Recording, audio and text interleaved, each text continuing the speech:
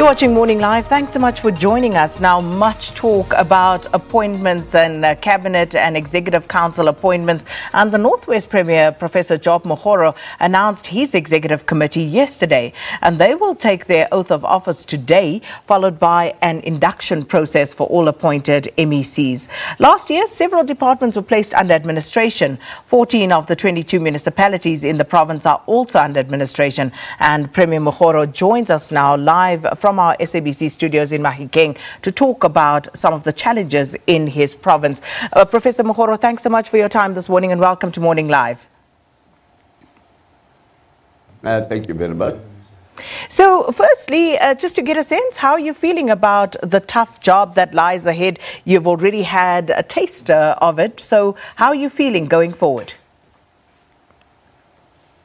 Well, I, I could recognize the immensity of the task but nevertheless, uh, I think uh, I'm fairly highly enthused for struggle.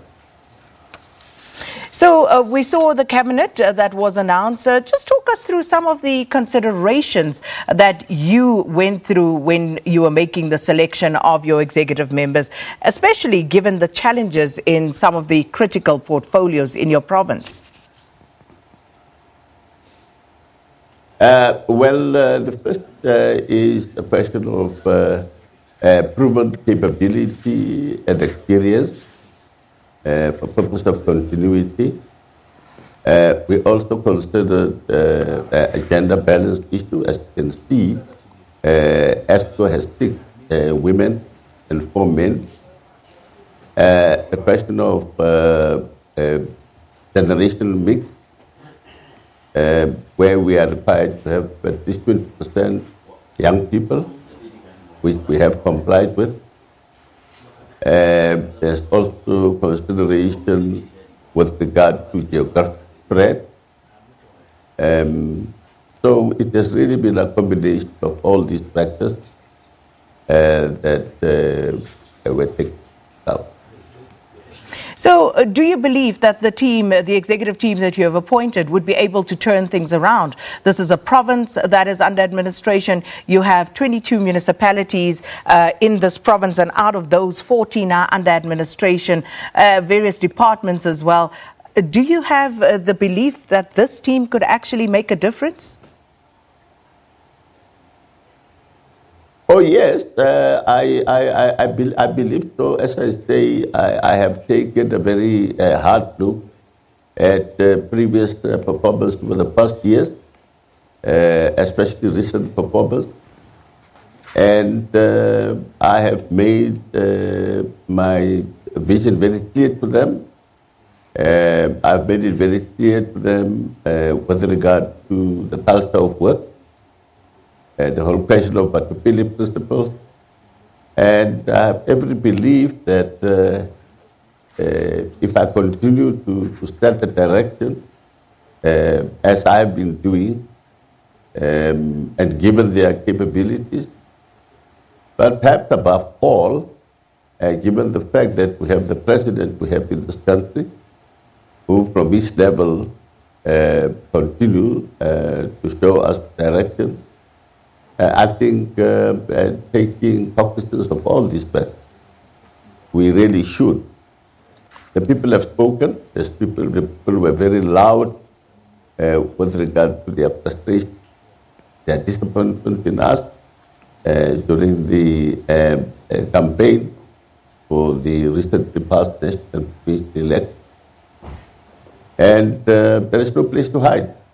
We just have to respond to the dire needs of the uh, Professor Mokgoro, what is going to be your priority? Because corruption is one of the issues that you need to deal with. You spoke about lifestyle audits, saying that this is perhaps a more effective way of uh, uncovering some of the corruption. How so, and what will you prioritize?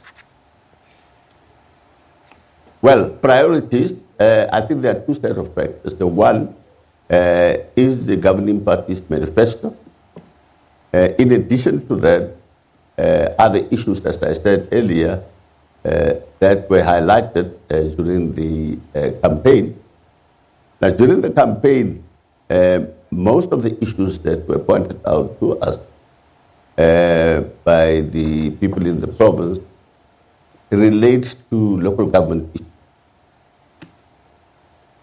And as we all know, uh, in about 18 months' time, uh, we would have another election.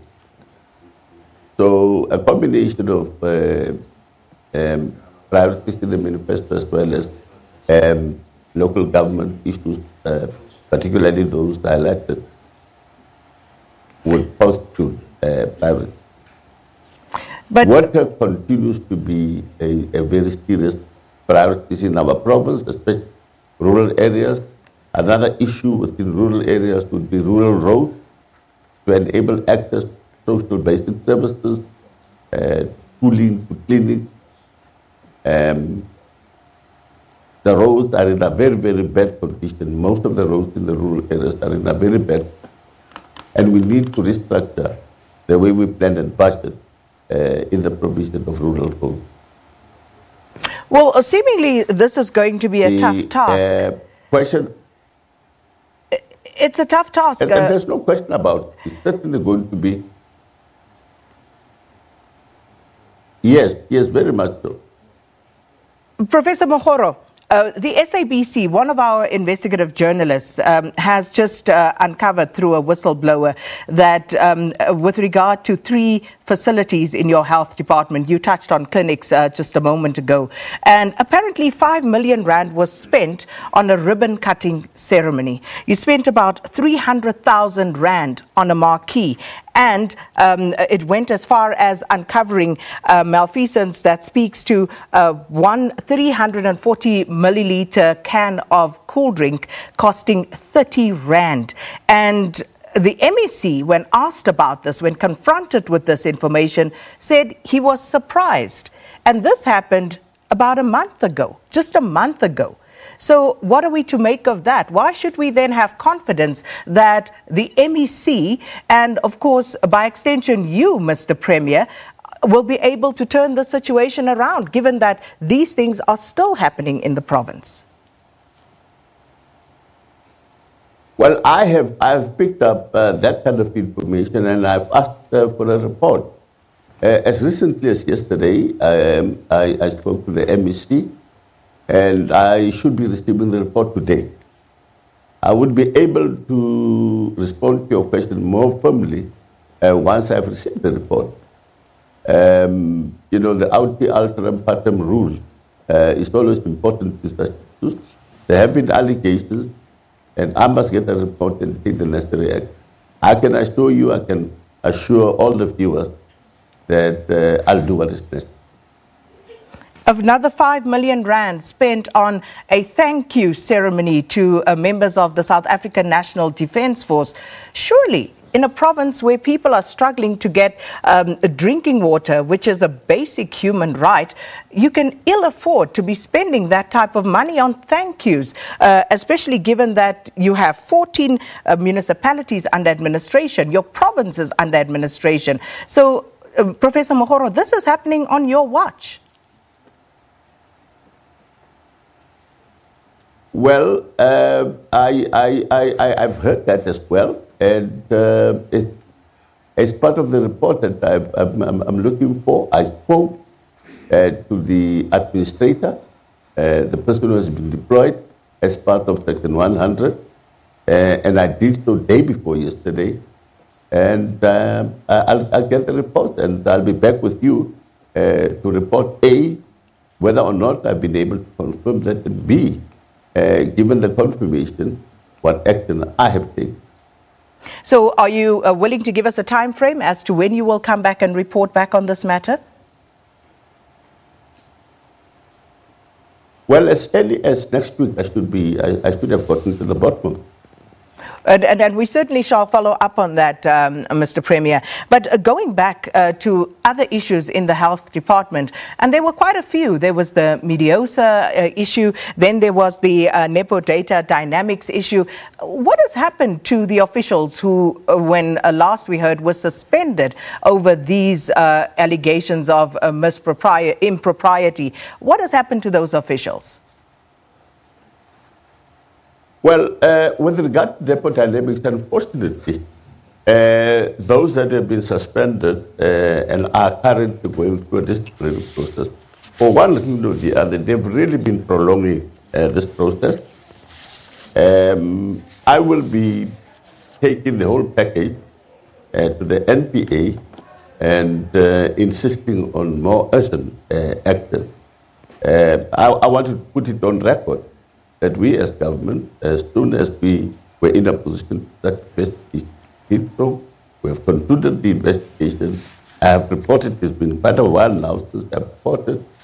But remember, uh, there are other issues uh, such as the Hawk, uh, such as the SIU, uh, to whom we have referred these matters.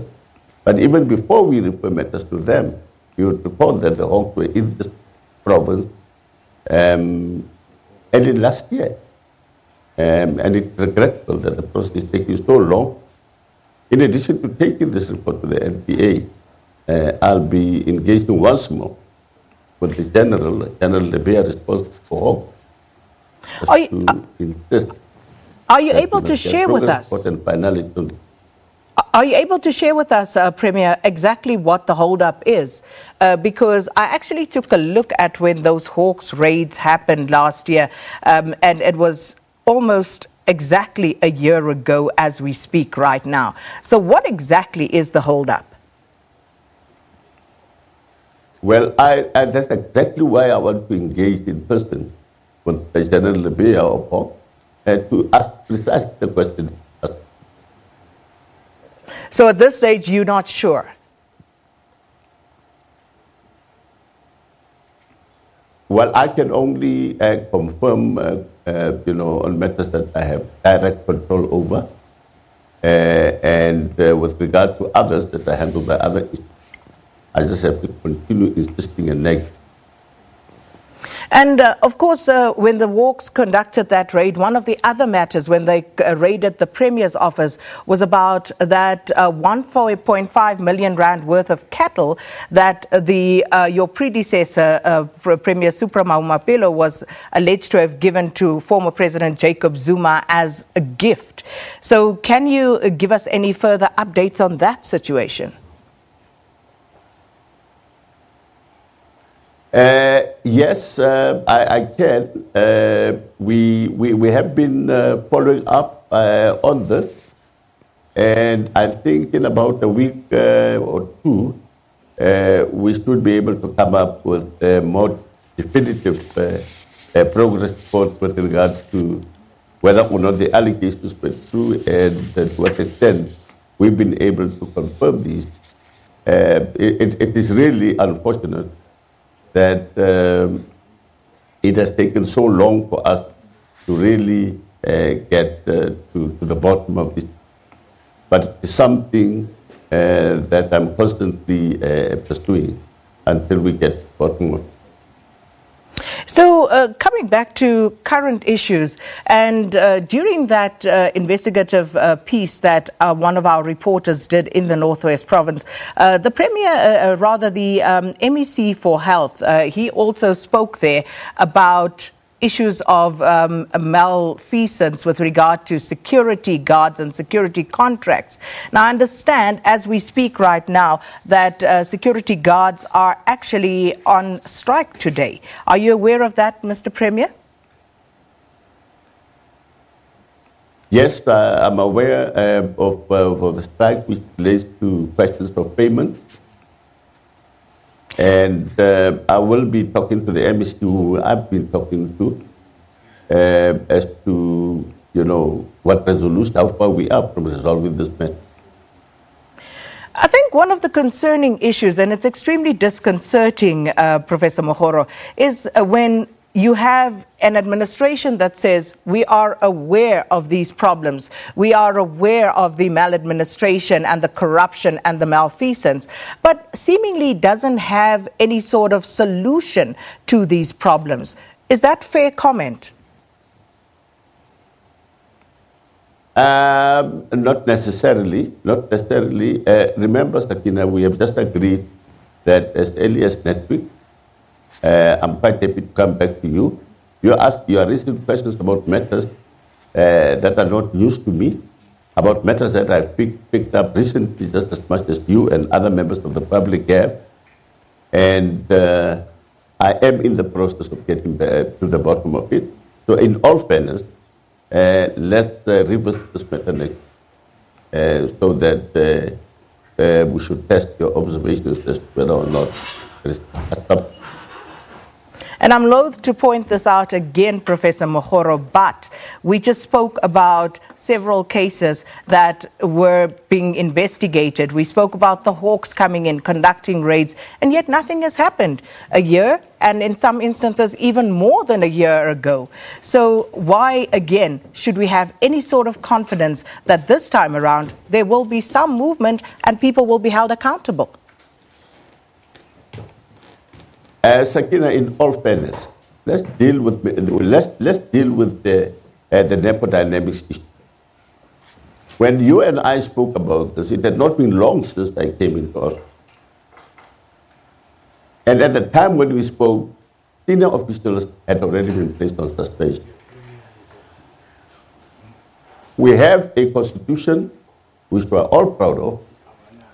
We have the Labor Relations Act with very progress that we're all proud whether we like it or not, there are a number of smart people out there who are able to play all kinds of delaying tactics. And the law is simply the law, and you always have to operate within the law.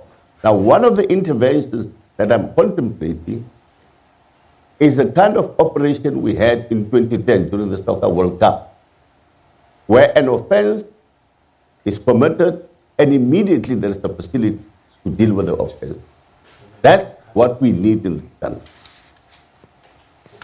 Well, Professor Job Mokgoro, thank you so much for your time uh, speaking to us uh, this morning, uh, the Premier of the Northwest Province. Quite a few problems there, and of course, the Premier promises that he will give us feedback on these next week. But for now, it's time for the latest news at 8 with Leanne.